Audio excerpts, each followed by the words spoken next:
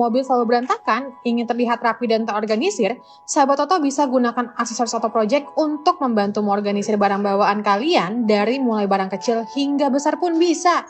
Agar dashboard kalian selalu tampil rapi, bisa gunakan dashboard storage jadi tambahan kompartemen di bagian atas head unit. Jika kalian suka bawa minuman atau tumbler saat berpergian, pastinya center cup holder sangat membantu menaruh tempat minum sahabat Oto. Sudah adjustable, jadi bisa untuk berbagai ukuran botol dan ada anti-slipnya. Ditambah lagi ada console box, kompartemen multilayer yang bisa jadi sliding armrest, plus bisa buat ngecharge yang pastinya bikin nyaman deh. Nah, kalau mobil sahabat Oto sudah ada console box dan tetap berantakan, tenang aja, kalian bisa gunakan center console multi tray.